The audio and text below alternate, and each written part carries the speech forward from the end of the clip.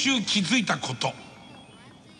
俺はね俺は一生懸命こう愛されたい、まあ、愛されたいとは思わないまでも好かれたい。ね。まあ、好かれたいとは思わないまでもね。えー、生きていて迷惑をかけないようにしたい。ぐらいのことはこう心に秘めてこうあのやっているんだが得てしてそれは反作用となって帰ってくることがあるのね。月曜ジャンク伊集院光深夜のバカ力。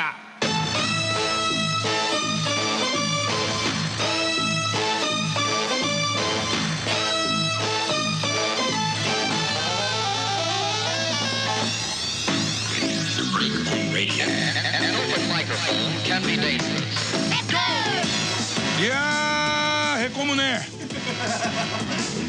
へこむよ。あああれだね。あのー、部活に古いタイプの深海2000で日本海溝潜っちゃったぐらい。へこむね。ああ多分水圧水圧もう少し水圧をさ一斗缶にかけちゃったみたいな感じで。紙みたいへこむねくしゃっとね。ぐっしゃりですよ。深海2000だっつってんのに1万メートルいっちゃうからね。あー本当ですよね。いやなんなんいあのいいよ。別にいいけどさ。そんなことは別にいいんだけどさ。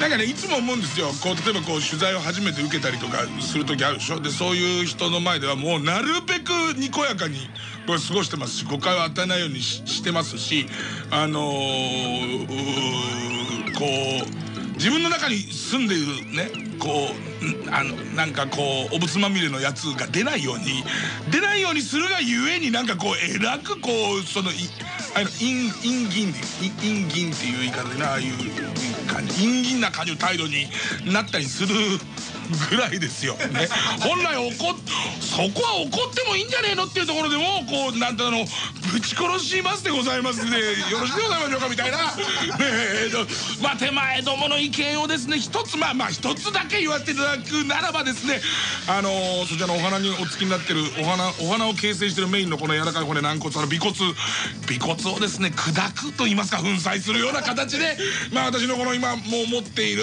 ストレス。まあ私ごときがストレスなんていうものをためお腹に脂肪をためといてストレスまでためんのかと言われればそれまででございますけれどもできればこう粉砕させていただきますとですねぐらいの感じですよ僕いつも。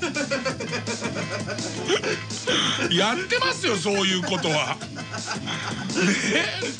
でもそういう時ショックなのはねどんなに普通に話しててもこのうすらでかい体体でどんなに慣れててもこのでかい物体が立ち上がる瞬間至近距離で立ち上がる瞬間っていうのは人間本能的に怯えるみたいね。あそれいつも思うのね。だから変な話あの今こうやって普通に座って話しててこれだけの覚悟を言っても俺がこうやって立つとちょっとそのここうせのはおお前そんなに怯えんなよ。俺一回もお前を殴ったりとかしたことないじゃん。なお一回もないじゃん俺ねえ生活の中で。今このそれもさラジオ局の別にお前とさねベンチシートで2人横に座ってラジオやってんじゃねえんだぜ基本。基本がねえ。鍋ちゃみたいにねやってんじゃないんだぜ。お前と俺の間には1メートルもある机っていう安全地帯があるんだぜ。にもかかわらず俺今へこんだわ。深海6で2万メートルいっちゃったもん。深海6って素潜りでも頑張れよそれぐらいみたいなやつで今行っちゃったもん。なんだろうね。こだって今ぐらい予告あっても作って立たれた途端になんかねこう戦闘的な人は「おいおっ!」っていう感じになるし構成の渡辺君みたいな性格の人は「ひ」っていう顔するんだよねすごい仲良くなってて俺暴力振るうイメージなんかないよないはずだし基本そうじゃないですか。でね、えー、そのことをまざまざと感じたのがね まああのこの番組でもおなじみの僕のこう若手芸人とやってる野球チーム野球草野球あるんじゃないですか。まあこれもこういろいろあるわけですけどまあ5月の4日のこうななえっ、ー、とえっ、ー、と祝日祝日に国民の休日国民の休日にたまたまグラウンドが取れてさ。でいていつも抽選なんだけどそれがたまたま当たったっつってさ。その構成の渡辺君がそういうこうマネージャー的なことをさやってくれてるんでさおそらくマネージャーとしてはキャプテンの俺に恋してるんだと思うんだけど言えないんだと思うんだけどもね。俺のお弁当だけ桜伝部でハートを書いたりとかそういうのも含めてですよ、まあ、マネージャーをやってて。まあ俺がこうそのもう野球やめてよってメソメソした時には引っ張いてくれるはずですよ。おそらく泣きながらね。本当にねいつも伊集院君のこと見てたってまあ言うんでしょうけど。そのその渡辺君がこうその喜びしたんでもう休日土日祝日のグラウンド絶対取れないっていう中その抽選に当たりました。毎回抽選だしもう変な話何年単位で出してるよな。当たったことないのよそれが。でほんでそのできたと。あのあの当たったっつって。で休みに当たるなんてすげえなついてんなってまたその日が日本晴れですよ。でいて俺はその渡辺君ことあのみなみちゃんが待ってる時に飛び出した犬をね助けようと思ってねでまあ双子の俺が俺に代わってもう意味わかんないイライラするわ俺は俺にさ伊集院和也は伊集院達也に対してものすごいイライラするわもう今2人。うんでまあそのまあ時を止めたりなんだりでさ、真剣な目をしてたりとかさ、そうだよね、え火鉢をまたぐら挟んでロリンですよ。それで。袋の縫い目をいたずらにほどいたらですよね。中からスライムベスが「こんにちは」ですよ。タッチですよ。もうでさ。もうでこうで行ってさ。そしたらさまず一番最初に良かれと思ってさ。すごいよなっていうこんだけ当たってみたいな話を最初してさ喜びさんで言ったらさ。その公園の管理のさ人がさ。あのゆにこうお金を最初払いに行ったらこう登録証みたいなの持っていかなきゃいけないんだけどさそれを行く途中にさ全面空いてんのよグラウンドが。結構な面数あるのに全部の面が空いて俺たちしかいないわけ。あれと思って行ったらもう普通のトーンでその受付のその公園公園の職人の人がまあいくら野球が好きでもゴールデンウィークぐらい皆さん家族サービスとかなさいますかと。だから毎年ゴールデンウィークの中身はいくら休日でもガラガラなんですよなんて言われてちょっとへこむわけ。あの俺とかプロデューサーの池田とかミキサーの岡部なんてのは家族がいるからああなんかあ今は楽しかったのになっていう感じでちょっとなってるわけ。ほんでそのちょっとその最初のはつらつが引き気味になりながらさグラウンドに入ったらさあんまり人の集まりが良くないの。あんまりレギュラー陣が結構いないわけ。でいてであのレギュラー陣いねえなみたいなことを言ってでその連続試合出場をしてる子たちもいるわけよそんな中ね。今あの偉いなみんな。連続こいつお前とお前は連続で来ててなんて言いながらヒットマンの河野君なんかお前も野球好きだな連続で来れるっていうのはなかなか休みたい暇あるのに朝やから偉いななんつって自分のこのへこみの分優しくなってるから俺少しさね。言ってたらさあの時河野の相方のその林田っていうのがあいつも良かれと思ってたけどゴールデンウィークの中身だからその大抵のお笑い芸人は仕事が入ってるって話を始めたわけ。したらさ連続出場組がどんよりし始めちゃうんですみんなでさ。もう金本気取ってたのよ。ちょい前までちょい前まで金本気取ってたけどやってる場合かみたいな空気で。もうあれですよ。泥本ですよ。泥本ね。金なんか全然輝いてないもう泥本なんですよ。でもうみんなそのなってる状態で野球やってたらさしたらまあその、えー、暇な芸人の中でも中でも、えー、俺この間そのみんなに有名芸人のレア芸人の話をした時にあの元無免許ライダーの小林くんの話したっけ？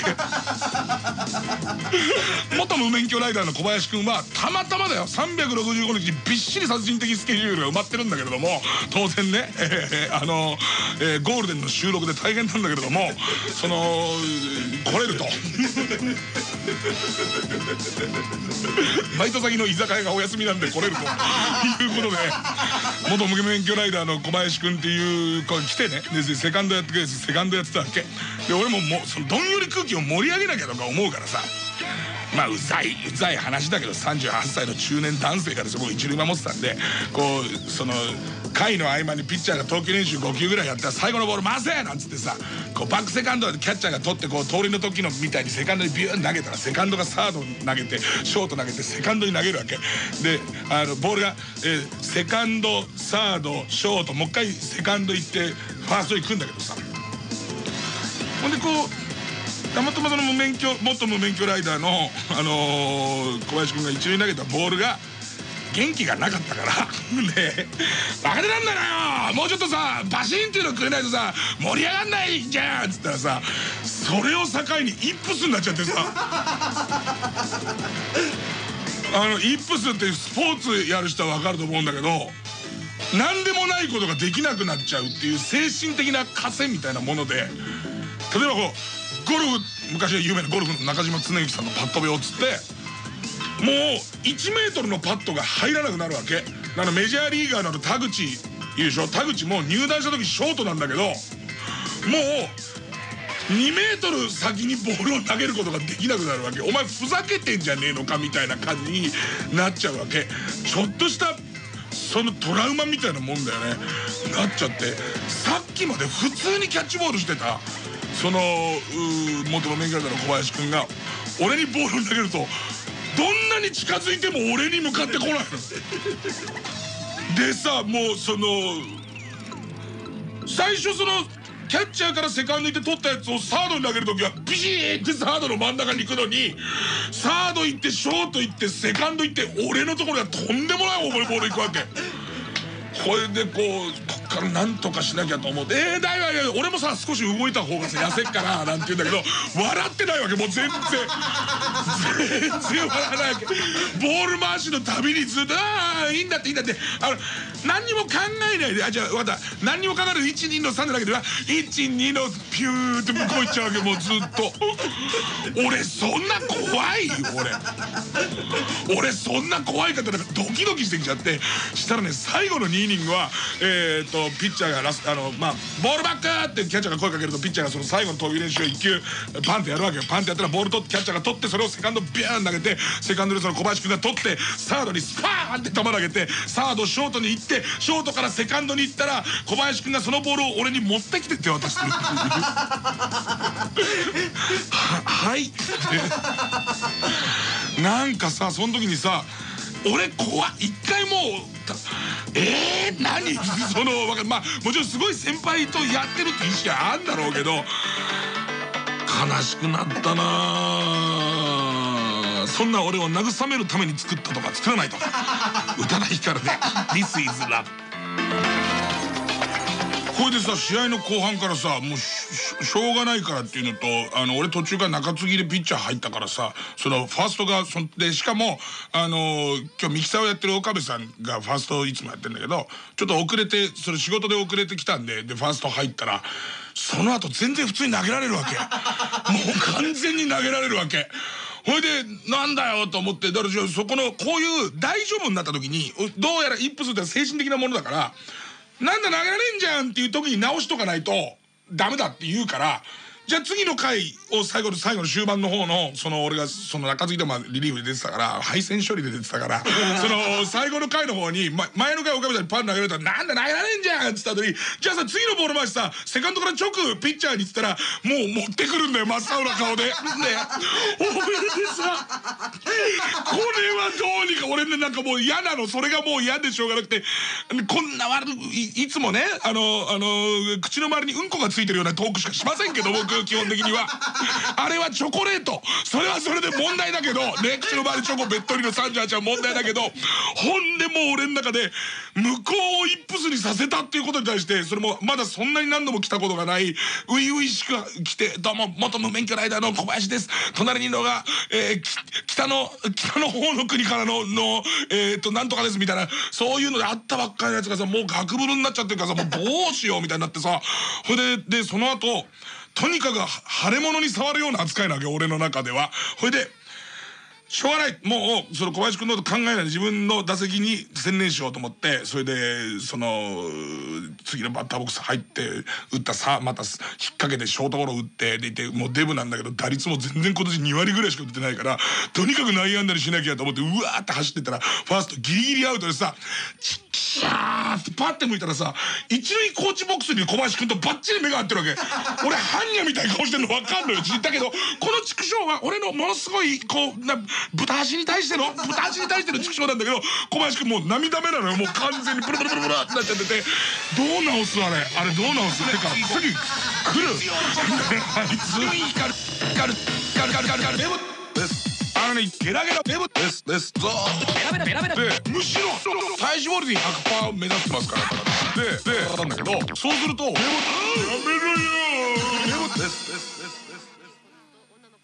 いやイップスってさそのそうね野球だとメジャーリーグ2にイップスのキャッチャー出てきてピッチャーに上手に返球できないやつが出てきてあいつは直し方としてこう要するに投げるっていうことのプレッシャーからその外されるために他のことを考えて投げればいいとかっつってあいつこう下着のカタログを丸暗記して下着のカタログの色ととブラジャーの色とタイプみたいなやつをバンバン言いながら投げると投げられるようになるみたいなのになってたんだけどまあ治んない時は本当治んないらしくて大事なのは次らしい。だから次のチャンスみたいなこと。だから次に野球で会った時にあん時はたまたまだったんだっていうことを早く体に覚え込ませないとダメだけど俺もう逆に言うと笑顔のイップスに今完全になってるから その何？若手を和ませようと思ったけど俺の顔もうびっくりするような顔になってると思う。あの明日のジョーで力石にぶん殴られた豚みたいな顔を俺笑ってる顔だと思って出してるからそんなに卑下しなくてもいいじゃん。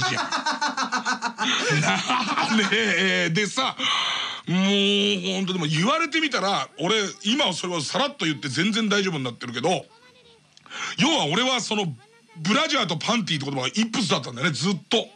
ずっとその多分何かの時に意識したんだと思う。多分なんかでさらって言った時に笑われたのか気持ち悪いって言われたのかそんなのからきちんと言わなきゃってこれは何でもないんだよ別に。だって他に指す名称はないもんね。女の人の胸のところの下着はみたいことを頭の中でずっとリピートして爽やかに普通によどみなく言おうと思ってブルってなっちゃうっていうそのあんだってスポーツだけじゃなくてもその単語とかそういうなんかなんだかわかんないけどなっちゃうっていう。あのー、ヒットマンの林田君は一時自己紹介イップスっていうすごいのにかかってたもんね。林田っていう名前が言えないの「どうも林です」って言うから「お前なんだよそのシュシュシュって」と思うんだけど言うとなるじゃんか。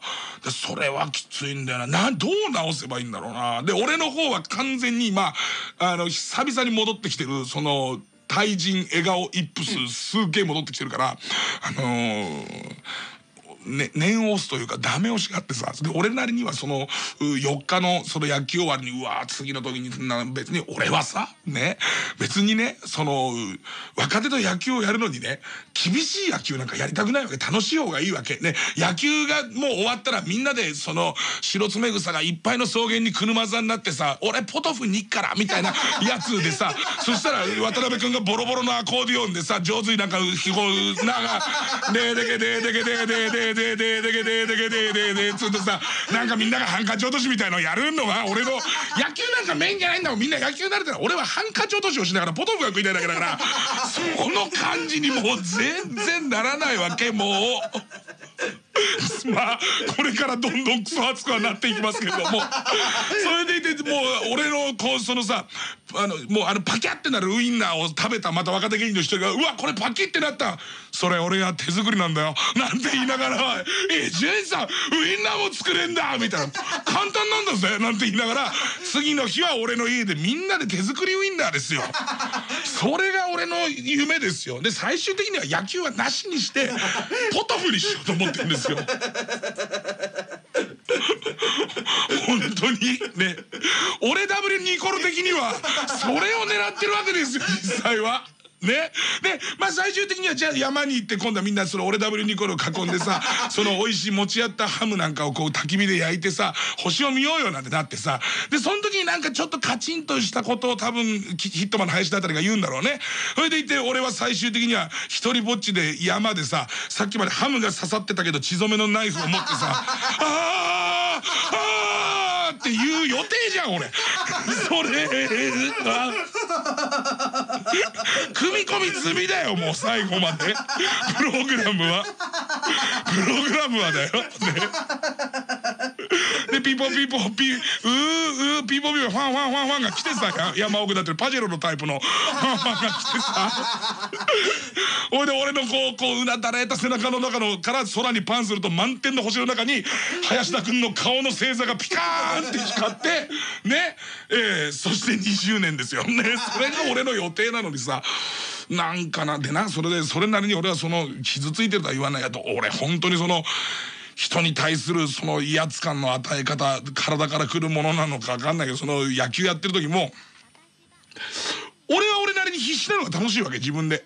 あのどうやってもうまくならないのは分かってんだけどその上限に行くためにあの打ち方を変えたりとか投げ方を変えたりするのは好きなんだけどそれをやってることを見ちゃっても別にお前らはお前らでどうでもいいけどお笑いの上と下ってそういう風にならないのも分かるわけなんか。僕円楽師匠一発だったから。なんか円楽師匠がギャグを言ったのをスルーしちゃうのがすごい怖くて。でいてギャグ言ったら俺笑おうギャグ言ったら俺笑おうってうちに気持ち悪くなっちゃったりしてたから。円楽師匠にしてみればそんなに肩肘でまたなんかそれもね円楽普通にお説教してる時に威厳があるからずっとお説教してる時に私らのね子供の頃は富国強兵とか柴田強兵とかそういう時代でね うんのってなるわけ。そうすると今の中でダジャレが入ってたかどうかなんかもう俺ああ言っちゃった言っちゃったと思うじゃん。でその後円楽師匠機嫌悪くなるわけ。必ずダジャレをスルーされたっていうことで。ね。でそれのプレッシャーで俺もずっとすごい耐え耐えなきゃいけねえと思ってるからさ。次ダジャレ言うのいつだろうと思ったら早くしまって聞いてるからああ笑えないよねもうね。円楽師匠次面白いこと言ったはあはあとしか笑えないよね俺もう。だから分かんないよさそれで。それなりに今週のテーマとしてある中でさ昨日さお昼の番組のあの伊集院光日曜日の秘密基地の新しいアシスタントで川田アナ川田えー、あこさんがあの新しいアナウンサーが来てくれてさでその別に今思えばプラスのこともマイナスのこともしてないと思うんだよね。俺割とあの何もないとだんまりだしまして初対面の女のほぼ初対面の女の人にあのそれこそ隣に座ってさあのあの DJ の先輩から何か聞きたいことない？うんがんがうんがとかやれないじゃない？何そのコーチング像？お前のコーチング論。絶対間違ってるよね。ねねシャンプー何使ってんの？シャンプーは何使ってんのか言って同じの同じの使うから。とか言えないのよ俺さ。ね。言えなくて大正解だよ。言えないとこが立っちゃうのいいとこだよまだいた。まだ2人いる。まだ全然いるさそんなもの。ね。あのほいでさまあ、だんまり、まあ、そ忘れたで基本はあのにこやかデブは微笑んでこその微笑んで面白いことを連発してこそのにこやかデブっていう基本なのよこれ。ね、あの要するに笑ってなかったらあいつ怒ってるか何かを企んでると思われるっていうのはでまた黙ってニヤニヤしていたら痴漢行為のことを考えてると思われてるのはまあ僕汗だくですしねいつもね。でも分かってたはずなのにちょっとねその新しい企画とかその来る人の資料とかを読み込んでる時におそらくしかめっ面してやってたんだろうね俺ね。そしたらさ最初こうもう始まる3分ぐらいになってから初めてあのカーダアナはゴールデンウィーク何やってたのみたいなことを言って今思えばなんつったらいいのかな。あそこでもすでに俺は別に普通の話をしようと思ってたけどなんか気の利いたことを責任感が強い子だからなんか気の利いたことを言わなきゃみたいな空気になってたのかなとも思うんだけどしたらなんか亀田亀田製菓に社会科見学に行ってあのあのハッピーターンを のできるまでをね。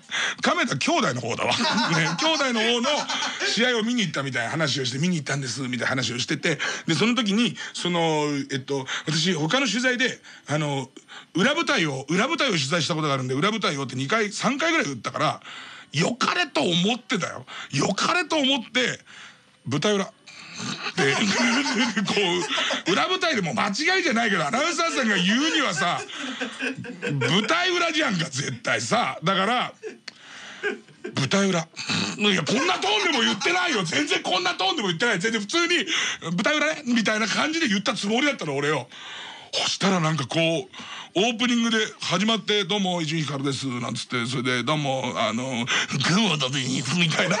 なんだよそれ。モノマネじゃねえ「カードです」みたいな「ねよろしくお願いします」みたいなこと言って始まってさ「ゴールデンウィーク何してたの?」みたいな話をした時に何の時だっけ？まさに舞台舞台裏の話してる時だっけ？また別の時な気がするんだけどなんか噛んだんだかうまく言えなかったかなんかした時にもう顔面蒼白で怯えてるのよ。はあ。みたいな俺の中でしたら「え何?」っていう感じだったら「いや伊集院さんに怒られると思って」っていうのね「ええー、何その評判悪い始まり方。ラジオ聞いてる人のそのものすごい俺のマイナスイメージの始まり方意味わかんない。DV でしょ DV でしょ。これ完全なドメスティッカーでしょね。ね。あれビールの男にドメスティックスでしょ完全にこれ。ね。なってるじゃんか。でなんかフォローするたびに「あでもでも石井さんに怒られると思って」って言うのよ。で俺もうわどうしようどうしようとかって思ってたんだよ。俺もそれで追い詰められちゃってるからあのなうまく言えないけどなんつったのかな？俺何もしてないけど俺の中に潜んでいるその悪い方の俺みたいなものが染み出るんじゃねえかみたいな意識がすごいしてるし初対面の人がキャッチしてそう思ってんじゃないかみたいなことで俺結構ブルーになってるからあのあのちょっと乗せる方の逆でまあ僕はちょっと間違えるたびにあの尾骨砕くような真似をする男ですからみたいなことを言った時に笑いが一切起きてないわけ。えー、えー、これ息これ息みたいな。イプマを買って買って買ってこうやってさなんとか自分なりにはさ持ち直したとは言わないけどまあこのまま過度にこのことは触れずにそのリラックスさせる空気を作っていかなければみたいな感じになっちゃってるわけ俺の中ではこれましてそのあのカードアナウンサーがその月1レギュラーになって回目だったりするからそのなんつったらいいのかなこうこれでそそれこそさっきのイップスの投げる方のイップスの話じゃないけど早めに直さなきゃみたいなことになってからこうそのニコニコニコニコしてんだけどそのニコニコもさニコニコはするけどもう感染は開いて変な汗出てんじゃんか。なねえお前ニス塗ったみたいな。ちょっと私目離した間に伊集院さんニスを塗っていらっしゃるみたいな感じにはなってるわけ。どぶどぶどぶどぶ汗出ちゃってさ。汗だるま汗だるま親方ですよ完全な。第3枚賞賞2枚ですよ基本的には。本誌を持っていってくれればもう少し安めになりますよそれ。でなってるじゃないですか。したら今度チャット盛り返してでこうそのうとそうすると今度こっち側からはプレッシャーをかけない俺かっこいいの今見た DJ 道の話始めようとしてやった こいつ。プレッシャーをかけない喋りにしなきゃっていうぐらいの意識は働くわけですよ。だからあのなんか面白いことあったって言われるとまた何か面白いことのあの伊集院さんみたいなああの内外面では笑っていても CM に入ると「おいおいそれが面白いってさ お前なんだ見渡す限りツンドラ気候のとこにぼーっと立って大人になったのか?」みたいなことを言われるみたいになっちゃうから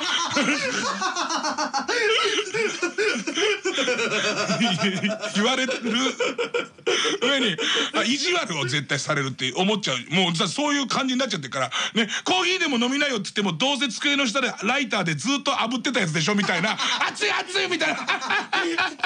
熱いんだ。みたいなのを多分なんか思われちゃってるって意識があるから。なんかこうなるべくそうじゃなく喋れるような感じのトークも心がけたりとかしながらだんだん治直してったり直していくしそのとりあえず前に座ってるその川田アナがにあの今までずっと続いてるコーナーだから聞いてる人は知ってくれてると思うけど川田アナは初めてだから置いてかれると困るなみたいなことコーナーがあるからずっとレギュラーで続いてるけど川田アナ初めてってコーナーを割と今節丁寧にこういうことがあってさみたいなことを話してこう持ち直したかなみたいな感じになったんだけどさなんかのところで、えっ、ー、と、普通に、えっ、ー、と、応募方法かなんかちょっと川田さん言ってくれる？みたいな話したらえー、宛先は、伊集院光の読んじゃったんだ。その時に、全然俺は今よく間違えられるやつやら、伊集院光のっつって、ああ、まあまあ、あの、光だけどね、みたいことを普通に言おうと思ってみたら、半べそなわけ。殺されるわっていう顔なわけ。で、その上、今度は声に出して、ごめんなさい。ごめんなさいって言われて。俺もう無理無理みたいな。あのさいい子すぎるんだよ。いい子すぎるわけ。なんかこうそのいろいろこう話して分かることとかはなんかこうそのそのみんながテレビとか見てどう捉えてるか知らないけど基本いい子なの。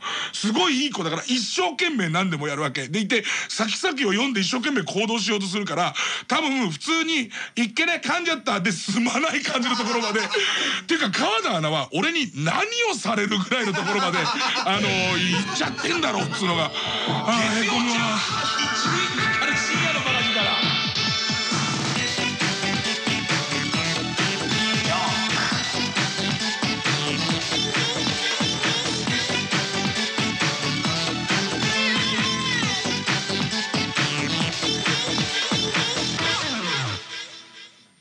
いやまあただねただ俺は俺で考えすぎだからねいつでも。いつでも古代妄想の意外妄想はいつでもぴょぴょこーんって出るからキョーンって出るから ね。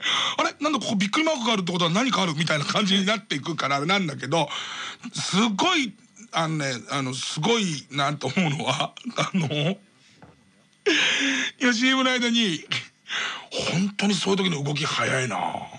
あのもう変な事実ディレクタープロデューサーが池田で一緒だから池田がきあ昨日のオンエアのテープありますって言うんでオンエアのテープを取りのえっと印象的なところのも出てるのね。ただねただねで まあ今 CM 本当に短い。僕はね君たちを誇りに思うよ。豆笑顔だよ。豆笑顔。ねニコニコ顔。すごいニコニコ顔なんだけど。君たちをすごい誇りに思うんだ。だって生放送でしょ？で僕が何を話し出すかもわからないし僕がそういうことを思っていたっていうことも実はプロデューサーである池田にも言ってないんだよね。俺家に帰ってかみさんにちょっと愚痴っただけで俺もうわかんねえんだよ。それもほらきそのお綺麗なお姉さんでさそれでいてその一流企業の社員じゃないですか。でそういう人とうまくコミュニケーションが俺取れねえんだよみたいな感じのことを言って で婿養子としてはかみさんの方から「あたいが大丈夫ってどういうことだ」みたいな感じのこう返し方もありのなんかあってなんだけどまあそのね君たちのその素晴らしいそのねあのラジオっていうのはレスポンスだからね。ねだからそのテープを持ってきてその池田のその今トークに出てきた部分の頭出しをしてしたのはすごくいいこと。それは本当にね、一流のスタッフなんだよね、すごくね。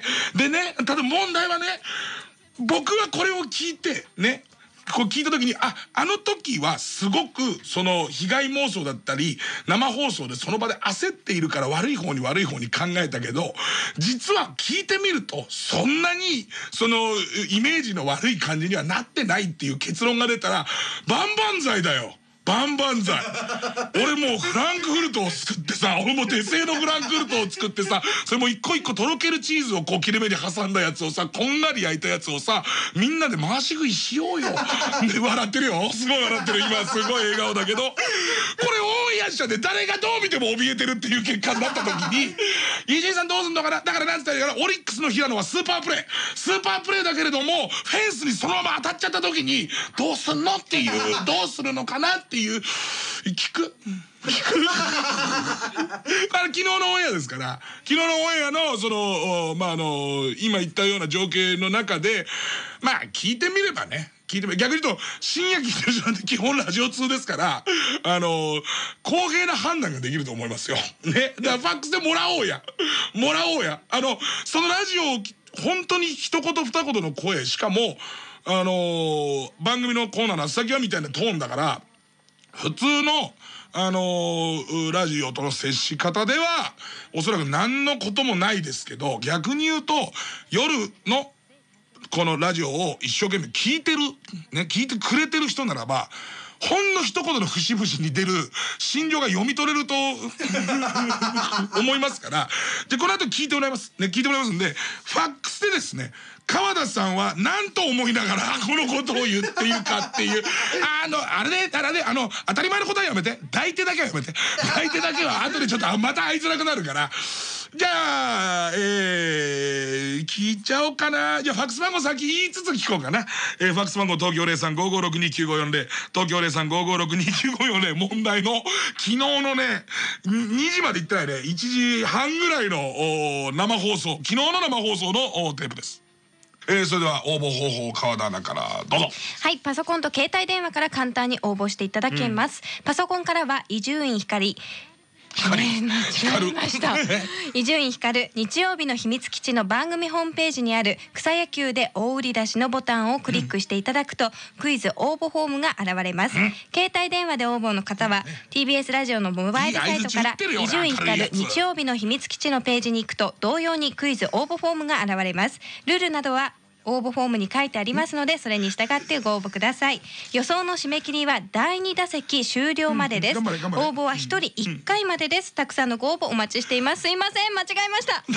だか。ら角に怯えなくていい今のどっちかな。あのあのすいません。まじもうちょっとねえー、白装束だった。白装束だった。もう私が死ねばいいんだって感じになってたかな。だけどさ俺途中さ伊集院光って、まあ、ちょっとあそこもう一回出せるし光っつった後の俺のね、よくここ聞いてよ。ね、この、伊集院光って、ちょっと芸名を間違えちゃったってことに関して多分怯えてるんだと思うんですよ。ね、怯えてると思うんですよ。ね、ね、その、ゴーレムが 目覚めるんじゃねえかと思って怯えてると思うけど、あの後の、ん？光るみたいなやつは、笑顔の口角から発せられてる口じゃん、絶対に。少なくとも机の下につま先踏みながらは出ない声だろ、俺。あれ絶対出ない声だろ。俺にっこり笑って、え、え、リ、ルみたいな感じの、なんかやつでしょ？ね、リ、ルみたいな。なんかね、あのーえ あのだどうなんかね。どうなんかね。もう公正な判断がつかないんだけどそこは俺笑ってると思うんだよ。そこちょっといきます？えー、パソコンからは伊集院光。光違いました。伊集院光日曜日の秘密基地の番組ホームページにある あのさあのえっとあの人いんじゃんかあの変な塩沢時みたいな色のサングラスかけてて髪型があれな感じの音声の専門家の人なんつったっけ？あの人さあの秋の大統領かなんかがあの暗殺された時の音の方向とか全部当てる人いいんじゃん。あの人に分析してもらおうよ。俺が悪いか悪くないかみたいなとこだけでもいいんだけどあの辺をやってもらうとなんかそういうこと分かるんじゃねえかな。これまずいな伊集院光深夜のバカ。力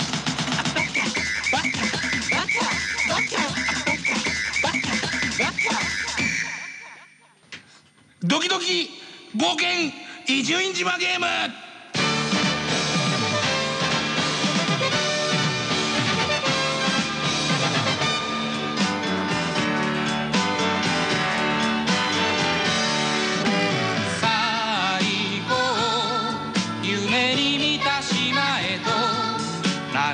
こう名も知らぬね島をこう冒険するすごろくなんつうのはねこうファミリーで楽しめる。ね。あの子供から大人まで楽しめるっていうね、まあ、そういうゲームをね僕は作っていきたいボードゲームを作っていきたいということでその僕の頭の中に存在する伊集院島っていう島をですね探検するまあすごろく兼カードゲームみたいなやつをねみんなで作ろうじゃないか。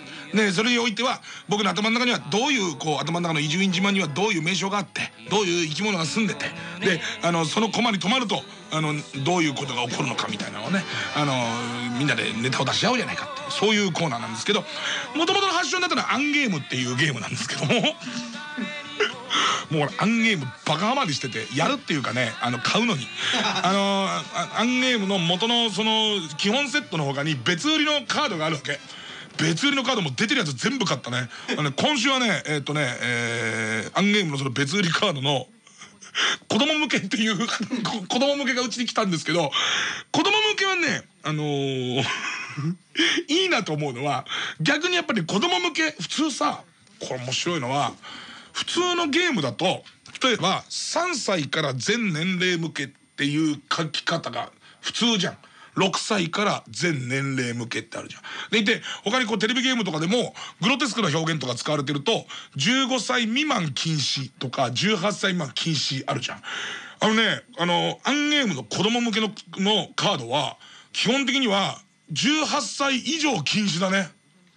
あのね、えー、まあ8歳ぐらいまでかなあ受け止められるのは、えー、例えばねコマに止まったら読んで読むカードね。えー高吉君は逃げ出すことで問題を遠ざけることができると思っています。逃げ出すことによって今度は何が新しい問題になるか考えてください。旬としかできねえ。もう旬としか。ヒート心にぐっすり刺さるよこんなもんは。これが分からねえから高校辞めてから紆余曲折してんだろ俺。これね熱いんだよな。えー、他にはですね 子供にねね子供に向けてのやつですからちびっこがいっぱいいる分にはいいんですけども一旦こう車座になってるちびっこを消していただいて自分を含めるね、えー、そういうメンバーにしてみてくださいね。さあカードを引きカラカラカラカラカラ3 3止まったからカードだ。カードを引いた読むよ読むよ和俊君は友達に何かの薬をもらいました。もし友達があなたにその薬を飲めと言ったらあなたはどうしますか？うんねえ。入手経路聞くかなまず、ねえ、まず入手経路は聞くね、えー、これのもう一個言ったやつ。まあ和俊君はね何の薬くれたか分かりませんけどねあのまあそれはみんなでこの話すことが面白いゲームですからえっと僕だったらなんつってね僕だったらやっぱお薬はお医者さんからちゃんともらったものかお母さんがくれたものしか飲まないんでみたいなそういう話いいじゃないですか。えー、これね次のカードがね安文君なんですけど安文君はよしこさんに幸せになれる薬を持っていると言いました。あなたは薬が人を幸せにすることができると思いますか？えー、キッズ。フォーキッズだよ。フォーキッズうわゆうたくんは家族と喧嘩をすると家族が違う人だったらいいのにと考えるそうです。もしあなたが魔法を使えるとしたらあなたの家族をどう変えたいですか？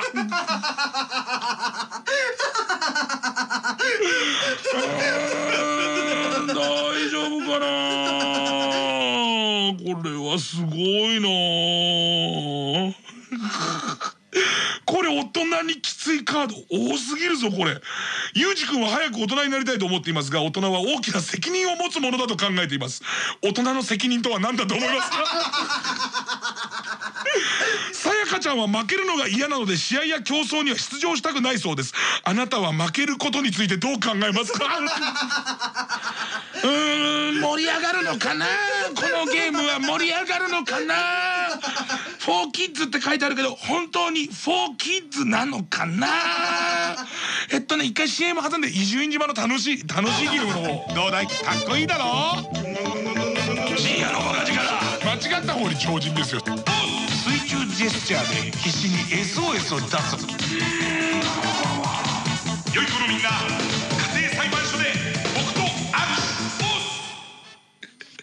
ファックスいっぱい来てますけどね。えー、っと埼玉県、えー、ペンネーム青い魚。あの時の宇野総理はこういう気持ちだったのか。ねえ。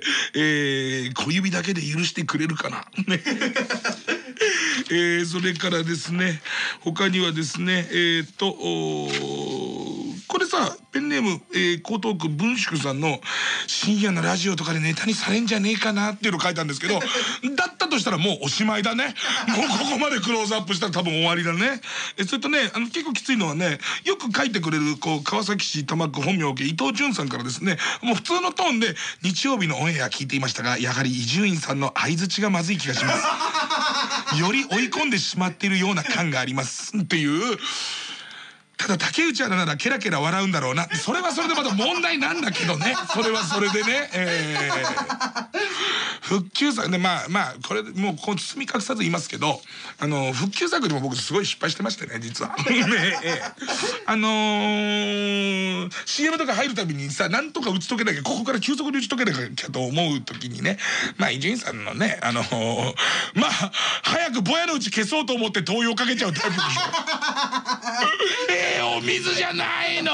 のね かり江戸を消失させるタイプのが 俺の先祖だから。なっちゃうじゃない？僕なっちゃうタイプじゃない？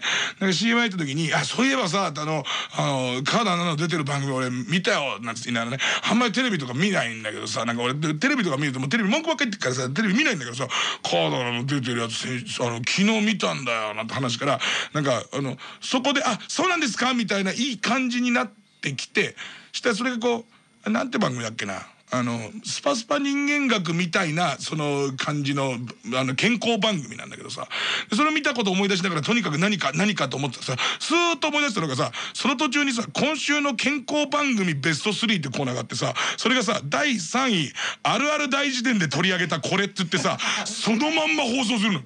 第2位、えーと、その試して買ってんで放送された、えー、睡眠障害についてっつってその他局の番組のダイジェストを作ってあるあるでやった体操っていうのをそのまま他のこうそのその TBS の雇ったエキストラみたいな人にやらせてこれを見とけば OK みたいな空気出して1位が先週うちの番組で放送した何々みたいなやつをやってるわけ。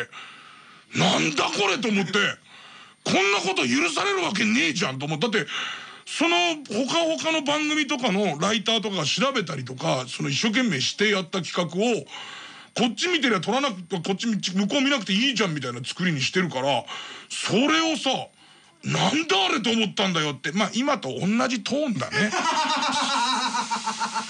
うんまあそれは川田アナは私のせいではないんでっていうことしかまあないよね。うんぼやは消えないよね。それはね。そうなんだよね。で問題なのはあのさでまたその日曜日の番組がこうローテーション方式みたいになって第1日曜日は誰第2日曜日は誰みたいになってるから次にその川田アナと一緒に仕事をするのは一月先なわけ。この一月先のそのなんつったらいいかな雰囲気雰囲気作り？アロマテラピー？ねそれがもう大変なんだよね。アロマテラピーはちゃんとやっとかないとね。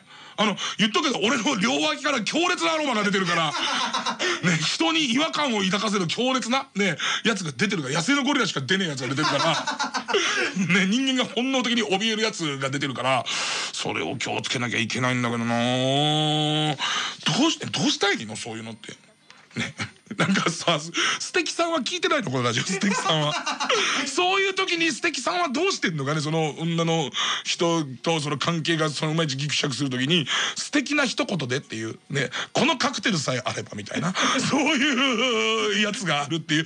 この本みりんベースのカクテルがあればっていう。それがあれば この薬を打てばみたいな、ね、だからさっきのカードで学んだろ？そういう得体の知れない薬は絶対ダメなんだよ。ないんだよそういう薬はね。うん。ということでですね、え不安から逃れるためにためにですね伊集院島の方にちょいと出かけてみたいと思いますんで、えー、じゃあ伊集院島にあるものですが、えー、それでまずはですねえー、えー、ちょっと2時ペンネームとっとこソーセージ太郎あだ名ポスト。もううんざりのあだ名を書いた紙を入れ遠い町へと送ってしまうポスト。そのマスに止まると一番嫌だった自分のあだ名を発表します。他のプレイヤーはなぜそんなあだ名がついたのかを想像してからプレイ中そのあだ名で呼び続けます まあ昔まああの構成の渡辺君からねあ渡辺君がみんなに愛されてたんだなってわかるね、えー、そのあだ名を聞いたことあるんですけど、えー、イカ鍋っていう ねイカ鍋ってあだ名だったと思いますけどその時僕は山ほどいろんなことを想像すごいいろんなことをするでしかも中2でイカ鍋ってあだ名がみんなからついたって話を聞いた時にいろんなことを想像してからうん、そういうニックネームなんだ。伊集院さんは、剣 本名剣だからみたいなあのそういう楽しい会話がこのねドキドキ冒険移住院島ゲームでは、えー、できるっていうことですね。えー、続いてラジオネームアブラザルプラス。ルーブス美術館。漫画タッチの女の子の自画像と第三者が描いた作者の面の絵が展示されている美術館。ついで。ついでなの？横同士に。そのマスはやばくないか？そのマスに止まったら他のプレイヤーの彼女もしくは女性の家族家族の、えー、もしくは他のプレイヤーの女性の家族に関して辛辣な意見を述べましょう。たとえそのターゲットがついさっき差し入れにお茶とハッピーターンを持ってきてくれたそいつの母でも。えー、いいね。なんかね僕はねこれすごいいいなと思うのはねあの女性女流漫画家の方とかいるじゃないですか。そういう人はこう作者禁煙みたいな自画像の可愛らしいのすごい書いたりとか。まああのクラスにいろんな方がいますけれども。まあまあまあ加盟ですよ。加盟ですよ。ね。え上村梢さんです。漫画がまあ上手でいらっしゃるんですよ。でいてその梢さんがここ書かれる自画像みたいな絵があるんですけども。まあそれがものすごい可愛らしいんですよ。でこうそしたらまずねあのー、この美術館を建てるためには車座になっていただくわけですその人に。でまず一番最初の1時間で自画像を描いて次は隣の人の顔を見て描くっていうループを作るわけですよ。それでて隣同士で貼っていくとうんなんかすごい見たらいけないやつが 見れる感じにはなりますよね。えー、すごいね伊集院島美術館もあるからねやっぱり美 に対するセンスがね養われますからね。えー、続いてペンネーム第3。隅の ATM もう言葉がいいでしょ。隅の ATM っていう。町外れにポツンとある黒い ATM キャッシュカードを入れると今までの人生の中で盗んだお金や物の代金のトータルが表示される。通帳記入をすると日付と被害者のリストもずらっと入る。ここ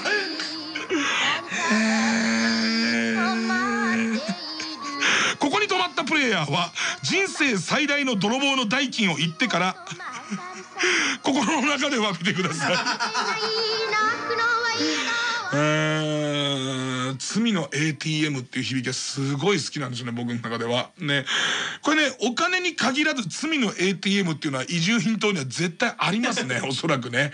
で残高を調べると下向きの黒い三角がついたまま額面がすごい出てると思うんですよ。それでいて記帳なんかしちゃった日にはその記帳のところにどういうものえあれも？みたいなやつがこの知らないこうあの借入金がここに名目にあるんだけれどもああ良かれと思って頑張ろうとしている矢先に女性アナウンサーを傷つけたこと？これどれぐらいの罪なの ?25 万 ?25 万も ?25 万もこれなっちゃうの？みたいなやつが罪の ATM には近寄っちゃいけないんだよね。絶対近寄っちゃいけないんだよね。返せないから。最終的に最終的に返せないんだから罪の ATM これでもさこうコンコンコンって止まって罪の ATM って今そのさっきのこうアンガーアンゲームのカードを読んだみたいにえー、っとここに止まった人は人生最大の泥棒の代金を言ってから心の中で詫びてくださいって言うわけじゃんか。ね。その時に48万えーって思うよね。でも記帳しちゃうと出ちゃうんだよね。父親と母親の名前が連記されててそこのとこに48万っていうのが出ちゃうんだよね。俺ねちょうど高2と高中3と高1の境目の時に出ちゃうんだよね。そうねまあこの盗んだじゃない制限にしたらこの前に座ってらっしゃる公正の渡辺さんすごいのありますから盗んだんじゃなくて自分の罪の自分の罪によってかかったお金っていうことだけで言ったら公正の渡辺さんすごい宣言出ますよね。えー、1000万。えあのスタジオのタグぶっ壊しましたから。スタジオのタグに今懐かしい O プラスをじゃっぷりこぼして、えー、大騒ぎになりましたから。払えねえって。もう俺たち払えねえって絶対に。記帳した時に身の身に覚えのないやつっていうか結局この罪の ATM に関して言えばそのその何自分の罪をお金に換算しての場合だとすると記帳した時にあれ？あれは振り込みじゃねえの？借入なの？っていうやついっぱいあると思うんだよね。よかれと思ってやったのにパターンが。へこむなこのゲーム。えー、続いてラジオネームニート候補生。古軍奮闘合戦跡今は何もない荒野だがよく見るとある一点を中心に無数の矢が突き刺さった跡が地面にある。その中心に立つと周り中敵だらけだったなという記憶がフラッシュバックする古戦場。立つ勇気ないわ。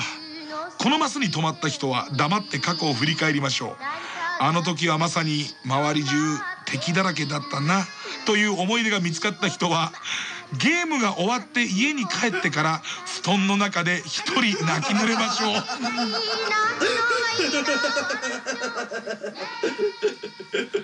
まあもうゲームじゃないですよね。もう全然こうなってくるとね。ゲーム内での勝敗にも盛り上がりにも何にも関係ない状態からのやつですからね。あー古軍奮闘戦場あと普通に行ってそのさこのよくさ文化財とかさその町の遺跡みたいなところにさ何々跡みたいなあんじゃん。あんじゃんああいうあの看板みたいな。そこのところに古軍古軍奮闘合戦跡があってさあここ合戦がやった後なんだ。何もねえなと思って見てると結構こう矢尻の頭が突き刺さったまま折れてるやつとかこうやっていっぱいあってさ本当にすごい合戦だったんだなと思うとちょっと待てよっていう。ある一点を中心に全部こう向かってきてる矢が刺さってるよなみたいなところでえこの位置？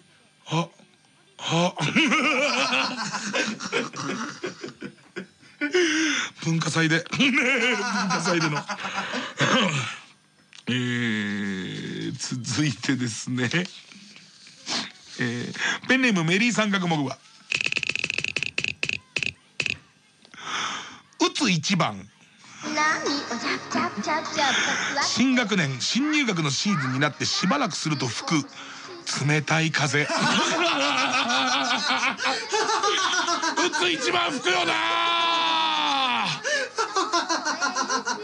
打つ一番吹くなすごいな。雪が溶けて川になって土蔵でしょんぼり。その間何があったんだよっていう。その間に何か吹いたんだね、えー、新生活を、えー、機にお友達を作ろう。高校生になったのを境にちゃんとしようという変な熱を洗い覚ましてくれる。そのマスに止まるとお友達を作ろうと部活やサークルに入ってみたり飲み会に積極的に参加した結果どうだったのかを今一度考えてみよう。ま素質がないね。みたいな。そうなんだよね。飲み会に普通にいる素質って多分あんだろうね。今でも思うけどなんかみんながこう合コンとかナンパとか言うじゃないですか。あれ慣れだとかみんな言うんですよ。あんなもん慣れとか勇気とか言うじゃないですか。あれはね素質。天部の才だから基本的には。ね。あの DNA の二重らせんの中に一回も出てこねえから合コンが。ね。えー、続いて。ペンネームごめんねごめんね嘘ですけど。夢アンチ室。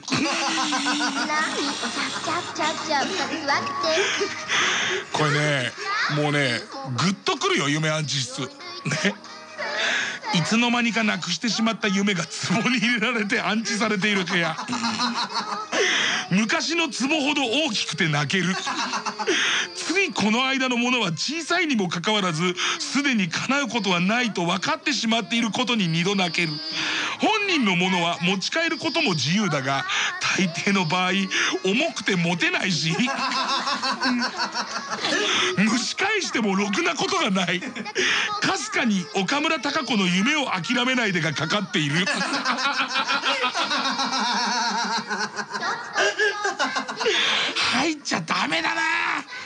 それ何の建物の中にあるんだろう夢アンチ室。カチャって開けんだろうね。そうするとあのいっぱいロッカーみたいなのすごいあって開けるとあこれ俺のじゃんっていうやつがあるんだろうね。うわでかいなこの頃。そりゃさこれふかしねふかしねえよって思うようなやつがね。総理大臣すげえでけえもんな。ですごい遠くの方で「乾いた空に」流れてますから。えー、ここに泊まった人は自分の今現在プレイしてる気持ちで聞いてくださいよ。みんなプレイしてますよ。僕のとこにカード来ましたから。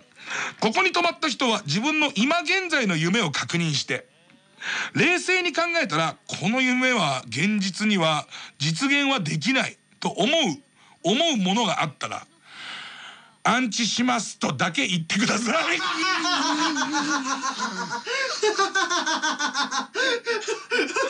何を？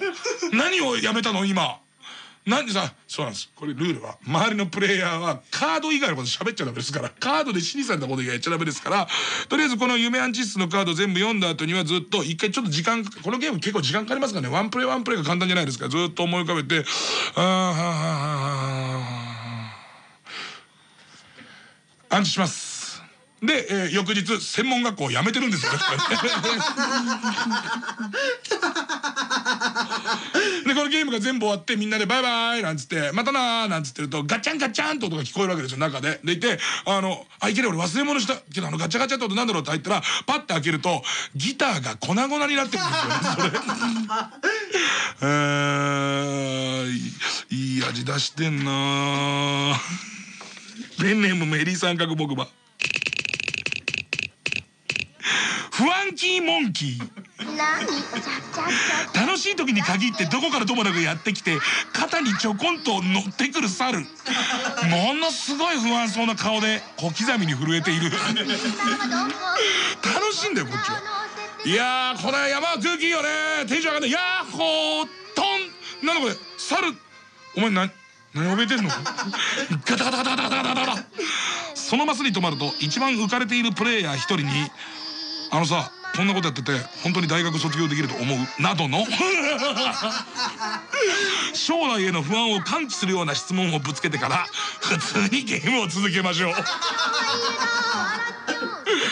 ファンキーモンキーの顔すげえ見てえな。俺のイメージだったのちょっと前に流行った流行ったとかよくテレビで言った横山弁護士のイメージなんだよファンキーモンキーのイメージ。それがガクガクガクっていう感じのうん。このすごろく楽しいとこはどこ？ペンネーム渡る。安心すみ。この世界の隅っこにあるなんだか安心する場所ですなんかね俺のイメージだとねなんつったらいいのかな箱庭みたいなものものの本当の一番角って透明の壁があるだけなわけじゃん透明の壁がある地球の果てが箱庭だと世界の果てがあそこだと思うんだよね。あそこのうまくしっぽり収まる隅なんだと思うんだよね、えー、そのバスに止まると部屋の隅に行き自分の落ち着く姿勢で小1時間ほどじっとしてください。他のプレイヤーはそっとしてあげてください。時間かかんねえー、平成のソクラテス。カリパク山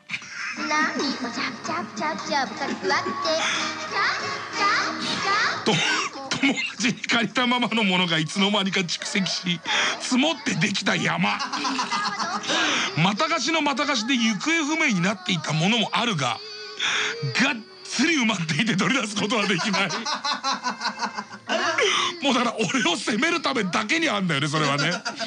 このバスに止まった人で他のプレイヤーに貸したままになっているものがある人はその品物の名前を聞こえるか聞こえないかぐらいの声で言いましょう。他のプレイヤーは聞こえないふりでゲームを続けてください。また借りたもの借りたままのものがある場合はそちらの顔でプレイを続けてください あー僕あれだ。三丸くんから借りたビデオだ。菊池絵里のビデオだ。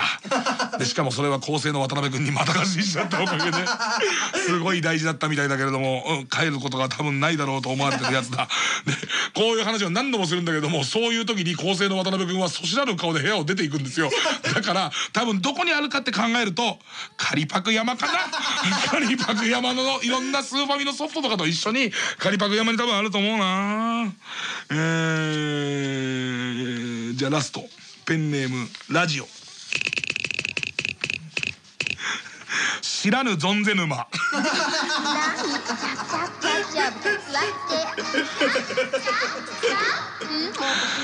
昔自分が元で起きた騒動に対する罪悪感が沈んでいる沼。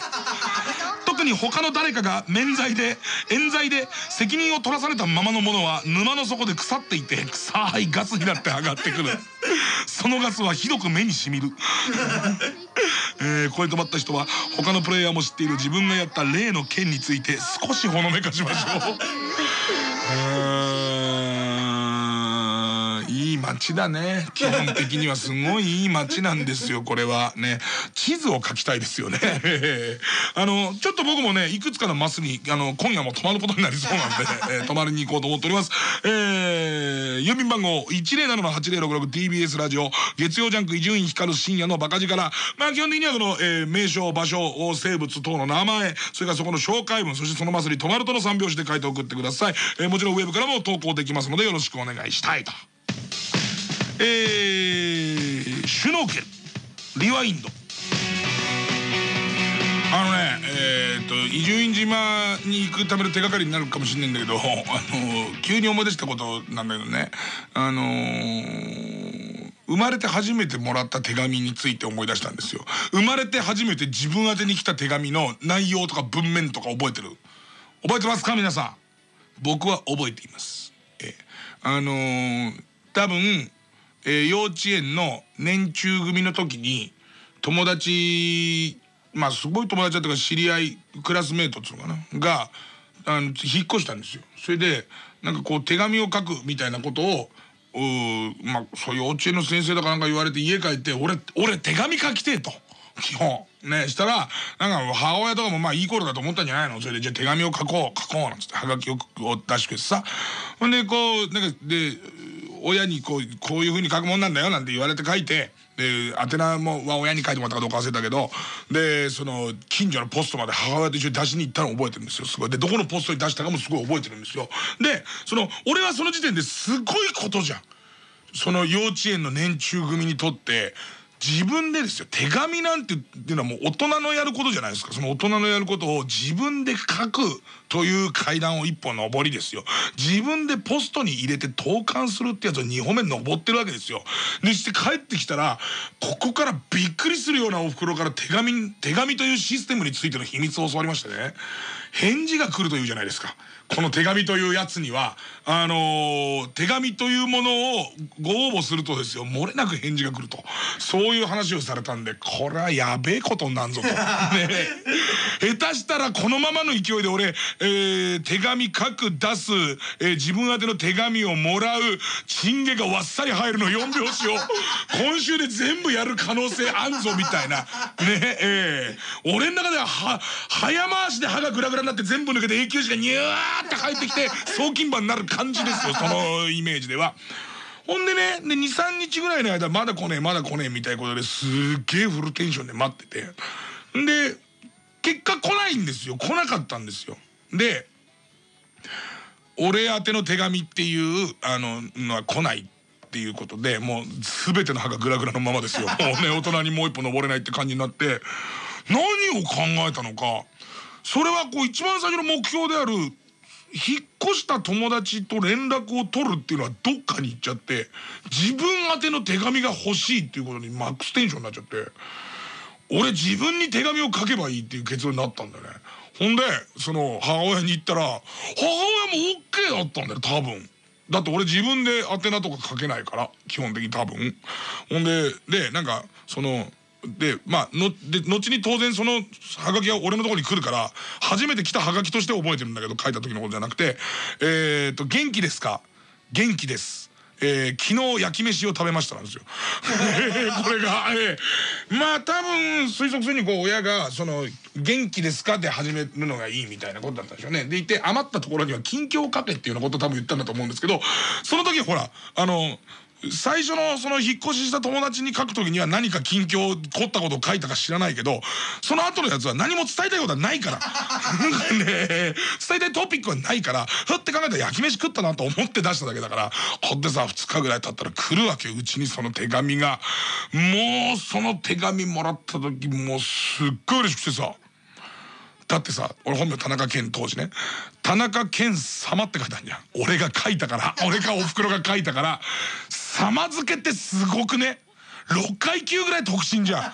あんな幼稚園の年中だって基本的にクソ虫みたいな呼ばれ方してるでしょ。なんかそれが様になったこととかあとなんか漢字として覚えてるのは「元気ですか?」えー「元気です」「昨日焼き飯を食べました」って書かれてもう焼き飯食ったんだ。俺ね先ほどと食ったみたいな感じとかがすごい出て。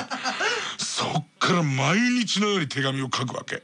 で途中からもう一ステップ乗りたくなるわけ。あのねもうステップもう一ステップっていうかもう階段は上り間違い始めてるんだけど完全に。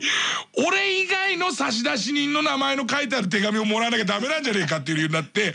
ほんで確かなんだけれどもきチョムさんか何かの差出人の手紙を書いたのよ俺。自分で。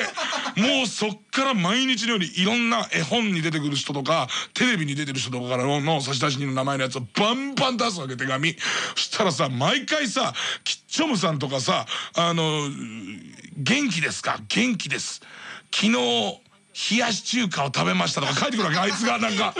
基本それだからね枝豆を食べましたとか書いてくるわけ。あの確かねあのー、えー、っとおおはよう子供賞じゃないあのピンポンパンにしん、しんぺいちゃんっていう人がいて、しんぺいちゃんからも来たんだよね。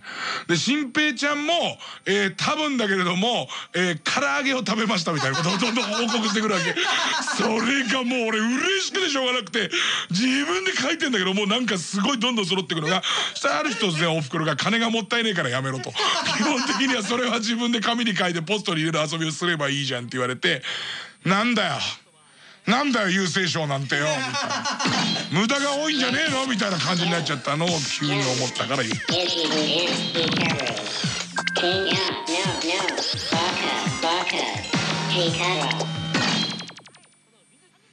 キスダック株式情報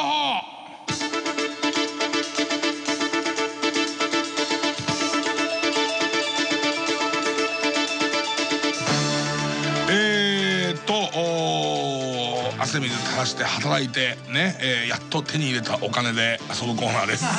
ね、いたずらにね、えー、いたずらに株式投資を学ぶコーナーです。ね、学んでんの学んでると思うの？意味とかは随分わかるようになってきたからね。ただ授業料が高いわ。ちょっとした株の買い方とか覚えだって自分でいく例えば株に興味が俺があったとしても自分からそのちゃんと口座を開設したりとかしながら株をやるとは思えないんですよそれインターネット取人が覚えたりすると思えないからそれをやったっていうことは俺の中ではあやっぱりこういうコーナーとかの力を借りるとできるなっていうなんかこう一つ嬉しいとこあるんだけどただそれってさコンサルタントの人とかに3,000ぐらいやるとやってくれるでしょ。もう5万かかってますかね。よく5万に戻ったよな。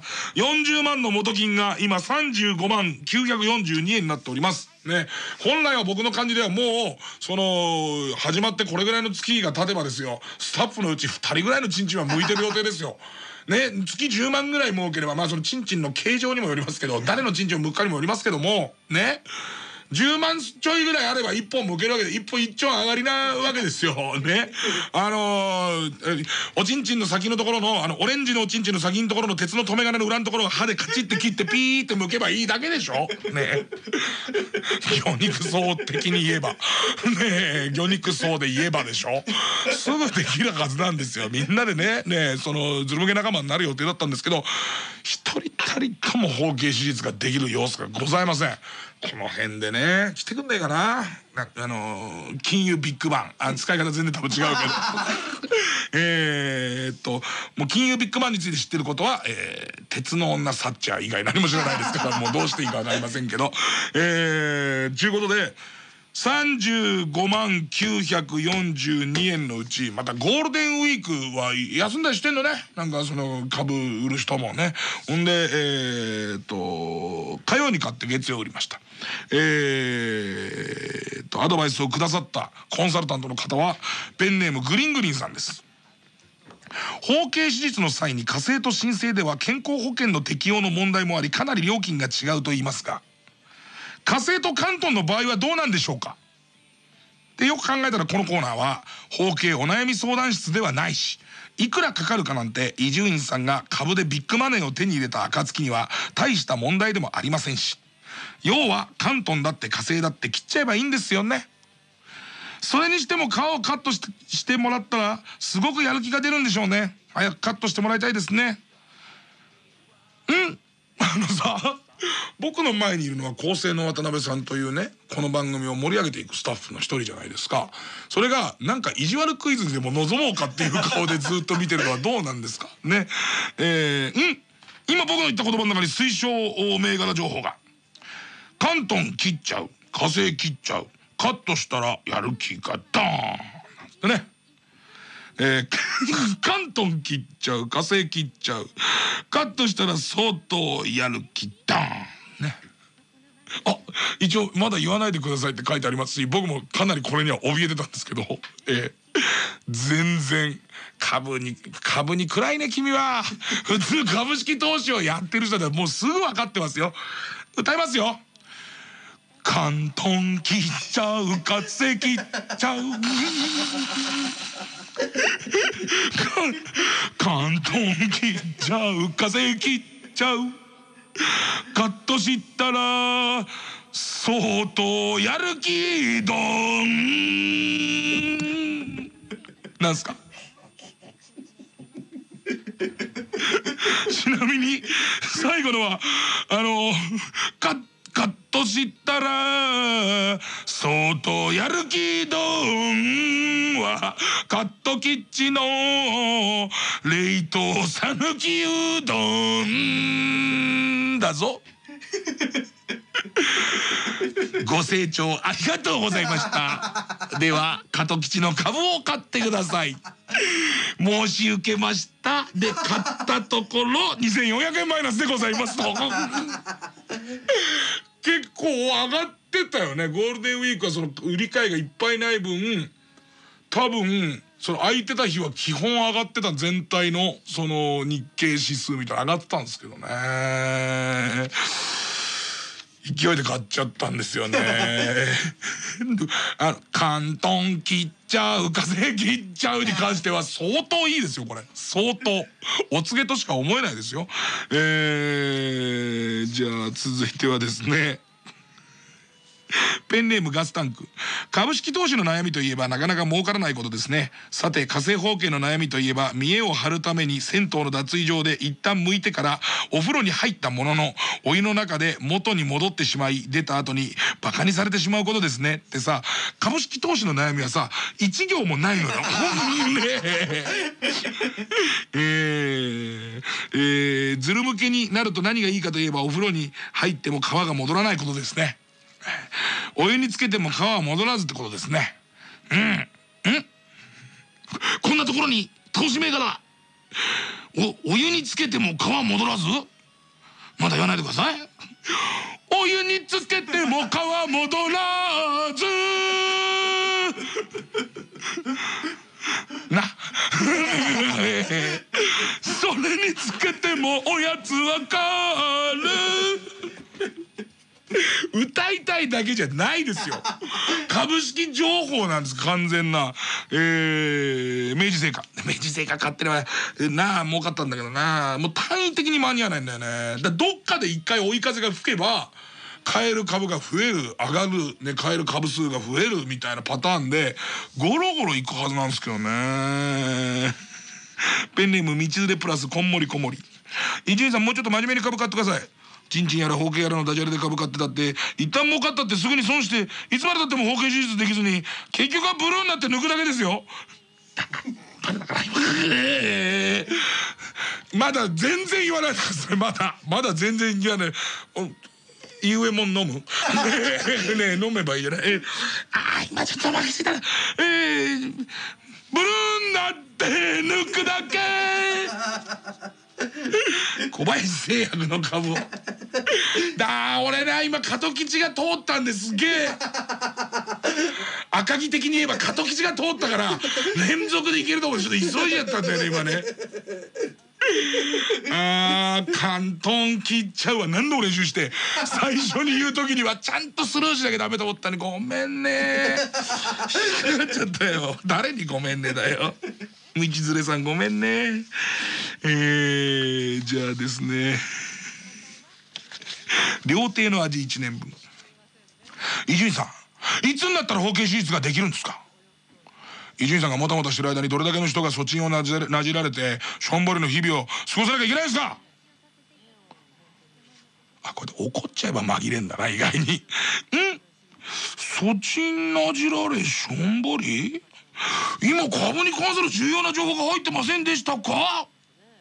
取ったそちんなじられしょんぼり。そちんなじられしょんぼり。チキンラーメン丼チキンラーメン丼そちんなじられしょんぼり。ぴったりだもんこれ完全だもんびっくりする。完全だわ。ああ俺これオレンジレンジにやろうこの歌詞。日清食品の株を買ったかい。ねえ。日清日清はギリ買えないんですよね。3600円の100株単位。3600円台の100株単位で有料な銘柄じゃないですか。欲しいんですけどもう一儲けしないといけないんですよ。えー、続いてですね。ペンネームくるりんぴゅ伊集院さん毎週楽しみに聞いているのにいつになったら包茎は向けるのですか？すいません。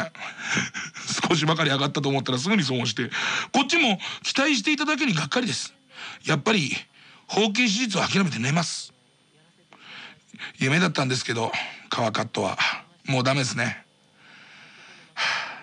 丁寧な言葉遣いも面倒くさくなったんでぶっちゃけやっぱ寝るぞ。ああ夢の皮カットダメだ。って感じです。今急に頭の中に会社の名前が。やっぱ寝るぞ。夢の皮カットダメだ。やっぱ寝んぞ。やっぱ寝んぞ。夢の皮カットダメだ。まだ言わないでください。特に魚まり丸出しでは言わないでくださいもう。やっぱねんぞやっぱねんぞ。夢の皮カットダメだ。ジャパネット。今のチンチンの CG のやつが踊ってた名前のところで、ね、電話のやつと一緒にな、えー、ジャパネット高田の株を買ってくださいジャパネット高田は未上場。えー、あとはどれかな？えっと。えー、ペンネーム各地加工どこの業界でも悪いやつはいるようでジャンプが合併号なのをいいことに欲しくもねえウルトラジャンプをつかませようとするコンビニがあるように。絶対あのなしだよなあのさ。発売日に増刊置くのなしだよな。あの前の缶とか置くのなしだよな、あれな。えー、あるように、ここ沈川業界にもすでに包茎手術は済んでいるのに、手術費用欲しさに仮まで向こうとする過剰医療行為があるとかないとか。もしそんなことを言ってくる医者に出会ったら、もう無理やときっぱり答えましょう。ん？今無理やりな関西弁が出たということは 推奨銘柄開示の前兆では仮も向きましょう。もう無理や。仮も向きましょう。もう無理や仮も向きましょうもう無理や。はは海苔を食べましょう大盛りや。すごい有料企業なんですよあのー、京阪神地区での加工海苔のシェアが1位なんですあの、この大森屋さんは。しかも、えー、1420円の100株単位ですから買えるんですよね。で、まあ今回は有料で動いてないですから、その、取引はなしだったんですけども、なんかさよくわからないのはその構成の渡辺さんがなんか自分がわからなかったのにこうあの結果報告を出されるとチェーンみたいな顔するじゃないですか。そういうコーナーじゃないですから。こう意地悪クイズでもねエロクイズじゃないですから別に。これは株を買うコーナーですから。えー、じゃあガスタンク。最近の包茎手術は医療技術の向上により全く痛みを感じないとか。下手をすれば皮を切るにも気づかないぐらいだとも言いますよすごく痛い手術を想像しながら今か今かと手術開始を待っていたらオペ終了。今切ったの？チンコの皮。なんておとぼけもあるらしいですよ。ん？今切ったの？チンコ皮。今切ったの？チンコ皮。もうすぐ株の銘柄が浮かびそうなんでとぼけた感じで元気に言ってもらえますか？今切ったの？チンコ皮。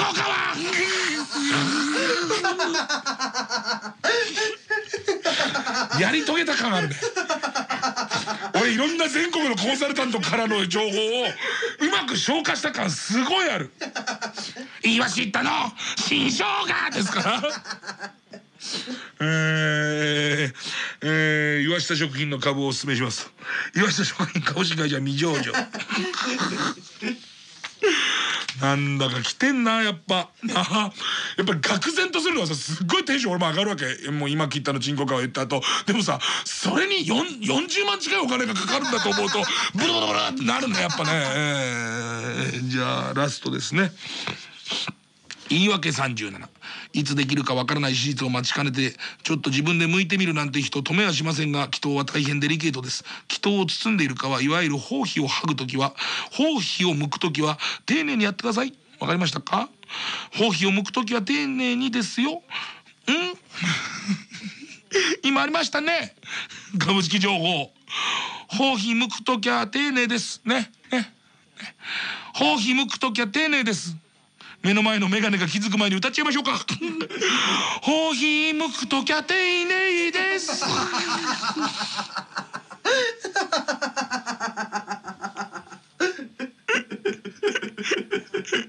ほひむくときゃ丁寧です。コーヒーギフトは AGF 味の素ゼネラルフーズの株がおすすめです。PS 多分未上場です。言いたいだけじゃんもう。言いたいだけでしょ。で読む理由も歌いたいだけでしょとなっちゃうと、えー、でその通り味の素ゼネラルフーズ、えー、株式未上場ということですね。えー、まあねこっから先ですよね V 字回復 V 字回復いきますんでもうこういうコーナーやった後に V 字回復って言うとちょっとエロいのかこれっていう 感じしちゃいますけどね。えー、ということでですね皆さんのおすすめ銘柄どんどん送ってください。郵便番号 107-8066TBS ラジオ月曜ジャンク伊集院光深夜のバカ力ゲスタックの係まで、えー、もちろんホームページを通じて、えー、それから携帯のサイトを通じてですねウェブでもご投稿いただけますんでよろしくお願いしたいと。ね次行こう。月曜ジャンク伊集院光光光光光光です。からねゲラゲラデブですです。ぞベラベラベラベラ。でむしろ体脂肪率100%目指してますから。ででなんだけどそうするとデブやめろよ。デブです。ネーミングクエスト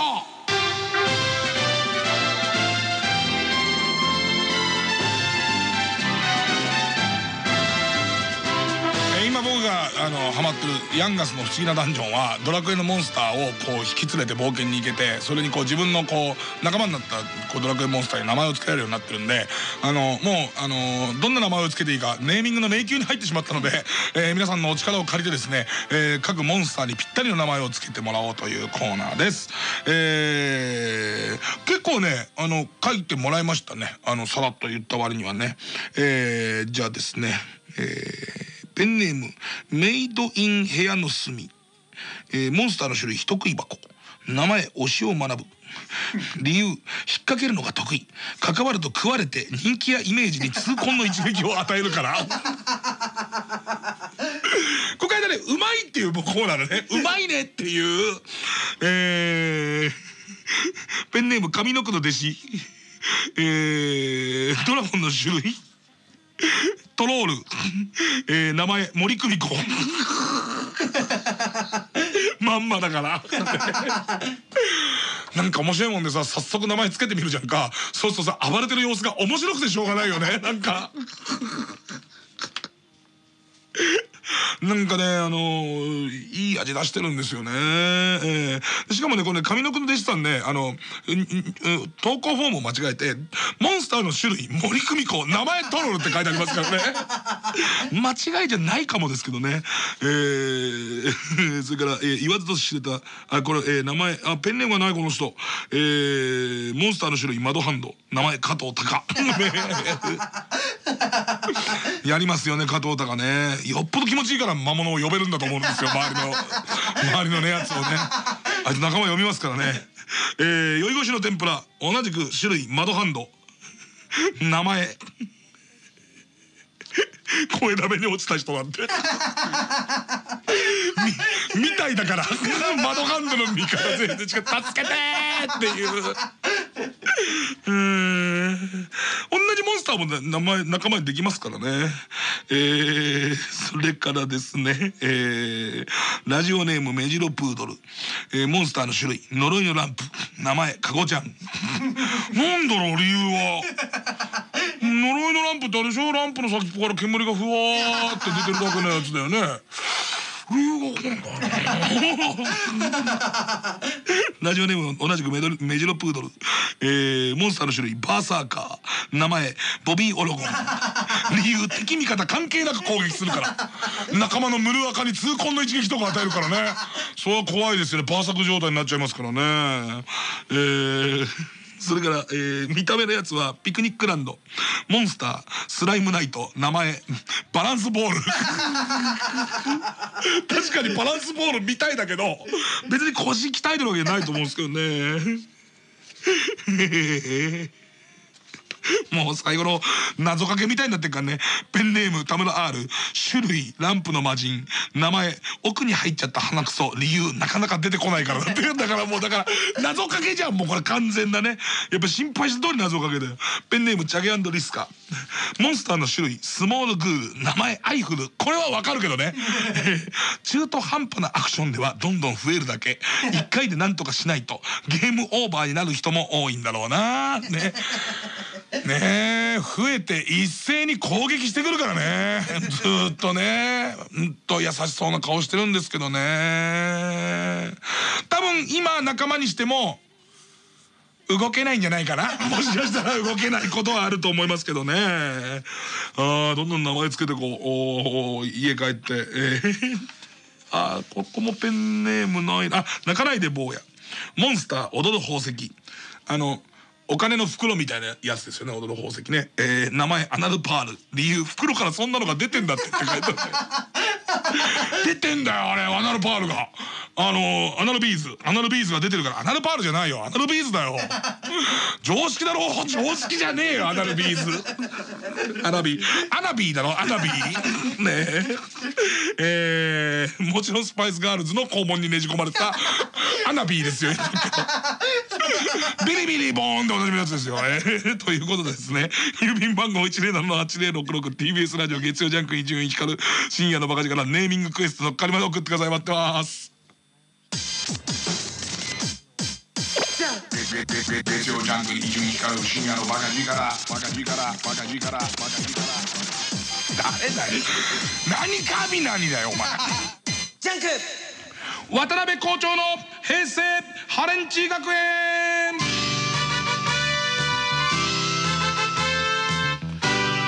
さあ、えー、世の中だんだん暖かくなってきますとですねまたこう渡辺校長がプンスカ起こっちゃうようなことがですね 方々でね急に暑くなったりとかしますとねあのー、もともと上着を脱ぐ予定じゃないような格好の人が上着を脱いだりして小脇に抱えたりとかしてますよね。許せん。あのー、夏服よりもあの冬服の上だけ取ってるやつの方が許せない。これはもうけしからん感じしますよね。えー、えー、ということで、えー、今日も校長の方からね世間のけしからん生徒たちからのこう生活の報告来てますんでビシビシやってやってください。えー、ペンネーム混んでいるのです。僕が高校生だった今から4年前のこと。うちの近所にファッションヘルスなるハレンチな施設が建ちましたもちろん僕はそんなところに行くような不良生徒ではないので全く興味がなかったのですがたまたま前を通りかかった時にお客さんが入り口から出入りしているところに出くわし入り口付近の中の様子がほんの少しだけ見えてしまうことが56回い。や2 3 0回はありました。あさてそんなハレンチな施設を僕のような健全な人間ばかりが住む町が許すわけもなくちょっと前に店が潰れしばらく貸し店舗になっていたのですが先月めでたくリサイクルショップが入ることになりました。別に欲しいものはないのですが23回出かけました。いや12回出かけました。入り口のところにあった受付みたいなところがそのままレジになっています。定額1ヶ月。何がですか？何がなんですか？ね。な何にも問題ないですよ。ファッションヘルスに入ったってことならそれはお手紙をお手紙お咎めをねあのされてもしょうがないですけども彼はリサイクルショップに入ってるだけなんです。全然問題ないんですよ。ね。あのただねあの僕一回あの神奈川の方にあるリサイクルショップすごいでかいお店でそこは新しいお店を建てる時にお金をすごいかけないために潰れたお店のものとかをいっぱい置いてるんでここに来れば普通のこう内装費用が半分ぐらいできますってお店があるんだけどそこにねどう見ても風俗系のエロい店にあったとしか思えない真っピンクの革張りのシートがある時に。ふむふむふむふむっていうふうにはふむふむあうちに置くのも手頃な大きさだなみたいな感じには思いましたけどね、えー、もう一個いけますかねいけますねペンネームえー、おんどりめんどりかんどりきどり中学校3年の時クラスのバカ者がバカ者ですよバカ者が学校に神聖なる学校にですよエロ本を持ってきたのが持ち物検査でバレてしまう緊急ロングホームルームが開かれましたその時の担任は25歳ぐらいのおとなしい女の先生で結構な美人さんだったのですがエロ本を片手に説教するうちに切れてしまい泣きながら「あなたたちは受験生なんですよ。こういう本を見てる場合ではないでしょ!」と絶叫しながらエロ本を教団にバンバン叩きつけ始める始末。どうしてこんな下品なバン。女の人の裸なんてバン。しかも学校に持ち込むなんてバン。僕は一番前の真ん中の席すなわちかぶりつきで見ていたのですがそのうちエロ本の耐久性が限界に来たのかバラバラになり始めいつしかエロ本を教団に叩きつけるたびにページが僕の上から降ってくるようになりました。こうなると何が何だか分かりません。泣いてる先生降ってくる女の裸床に落ちた女の裸を真っ赤な顔で見たり見なかったりのクラスの綺麗どころの E さん淡々と拾うメガネっ子の H さん。気が付くと股間がどうしようもない状態になっていました。まあ何が言いたいのかというとあれから6年夢にまで見ますよ。あの日のあのシーンを。お前は退学じゃ！ちょっと待ってくださいよ。持ってきたやつの方が悪いでしょこれ。持ってきた人がこの学校に入れてるのにですよ。なんで被害者ですよある意味。授業が受けたくてしょうがないのに。上からねおヌードをねおヌードをですよ。ね振らせられたらそれはね相当きついわけですよね。ええ。っていうかあのー僕こういうイメクラがあったら行け行きたい、ね、こんな複雑なイメクラはねえよ。ちょ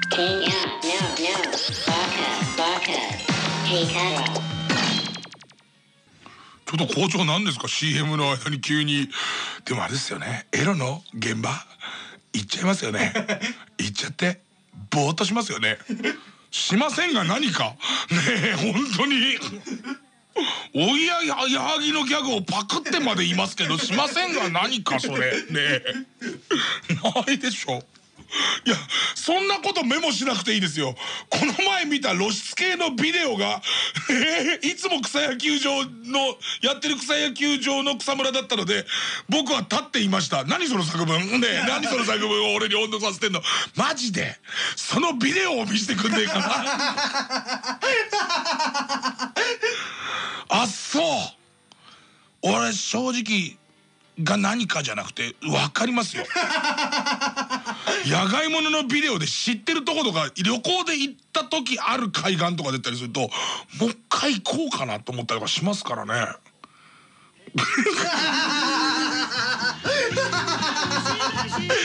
まあ俺たち多分一生美人女子アナとかとは分かり合えないしさ。惹かれ続けるボレロだよ絶対さそんなものはさ。五木ひろし言うところの惹かれ続けるボレロだよね。俺たちは男同士でアンゲームをやろうよ。達也君お店で簡単に買い物ができるのでクレジットカードを持ちたいそうです。あなたはクレジットカードについてどう思いますか？子供向けだよ。子供向け、うん、子供向け。ねえー。まあのみんな俺悪いやつじゃないよ、ね